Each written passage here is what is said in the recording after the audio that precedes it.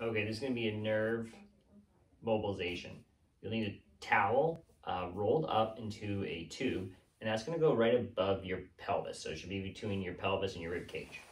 Lie on that side, and it should be the opposite side that we are trying to mobilize or stretch.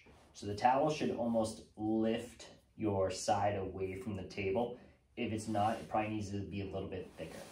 Your legs are going to be pretty relaxed, so you shouldn't feel any tension in your, your buttock or your hamstring area. From this point forward, your knees will stay together, and you'll just straighten your leg and pull the toes up. If this feels kind of funky and weird, feel free to put another pillow between your legs, so that way you're not using the hip to stabilize or hold. It should just be a nice, smooth movement. You might not even feel any stretching at all, and that's a-okay. In fact, that's the intention. No stretching with this, just getting in movement. If you do feel a stretch in this position, then bring your thighs down more so that there's less uh, potential for a stretch in the butt. And then from there, you just do the same thing.